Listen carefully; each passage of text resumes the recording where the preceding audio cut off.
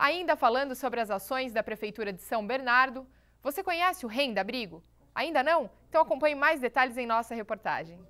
A Prefeitura de São Bernardo deu início na última segunda-feira ao processo de recadastramento de famílias do programa Renda Abrigo, que consiste no auxílio de até 315 reais para as pessoas destinarem despesa com aluguel, deixando sua habitação de risco. Os atendimentos vão ocorrer até o dia 3 de fevereiro na sede da Secretaria de Habitação, na rua Jaquém, número 61, no bairro Rude Ramos, das 9 horas da manhã às 4 e meia da tarde.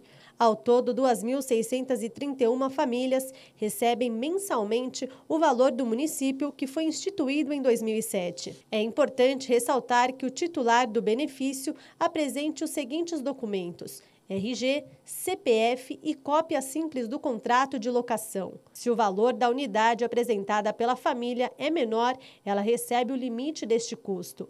Além das famílias em área de risco, são contemplados também moradores que foram remanejados pela Prefeitura por conta de obras. O programa Renda Abrigo faz parte da Secretaria de Habitação, que busca controlar a ampliação de moradias irregulares em assentamentos precários, especialmente em áreas de proteção aos mananciais.